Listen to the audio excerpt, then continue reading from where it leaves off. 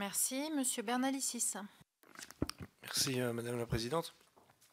Je souhaite également saluer aussi le, travail qui a été fait euh, par les, quatre, euh, les quatre groupes, sachant que le travail sur l'administration pénitentiaire est encore bien plus large que ça et qu'il y a encore du travail devant nous, ce qui est une bonne chose. En plus, il y a un groupe de travail sur le, un groupe d'études sur les prisons, donc on a de quoi s'occuper pour les, au moins les, quatre prochaines années à venir. Moi, la, première question, euh, et la seule en fait, euh, sera euh, plus dans le contexte. Il y, a un tas de propositions qui sont faites là-dedans, auxquelles je peux, souscrire de bon cœur. mais c'est surtout vis-à-vis justement des, annonces du président de la République et de ce que compte faire la ministre. Quelle suite allons-nous donner finalement à ces rapports?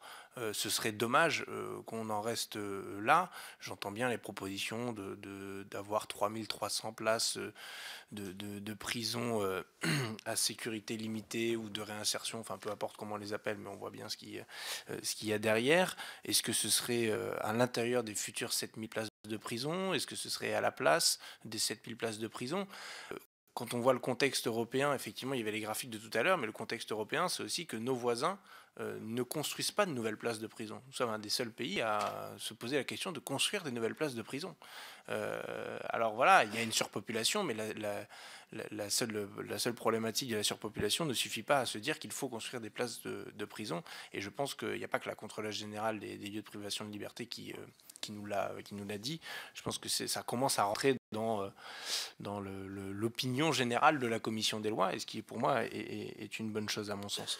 Donc vraiment, comment se situent, euh, comment se situent les rapporteurs euh, de, ce rapport au vu de, des annonces gouvernementales et présidentielles, puisque en fonction des semaines, on ne sait pas plus bien où, où quelle sera l'annonce des, semaines suivantes pour le, pour le coup, euh, vous avez aussi remarqué, je ne sais pas si c'était parce que euh, il y avait une, certaine précipitation du président de la République, mais euh, que l'annonce de, de, ne plus avoir d'aménagement de peine pour les peines inférieures à, un an pourrait avoir des effets contre-productifs.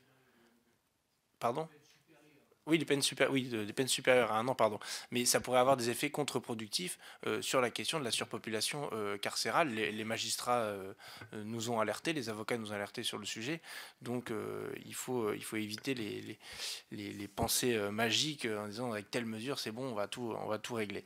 Et il y a une thématique aussi de la, la détention provisoire qui me semble être quelque chose d'extrêmement important au regard de la surpopulation carcérale qui n'est pas abordée ici dans les rapports, mais qui à mon avis doit faire l'objet d'une d'une réflexion collective euh, à très court terme, euh, si, si on est tous bien d'accord pour dire que la principale euh, chose à régler, c'est la surpopulation carcérale.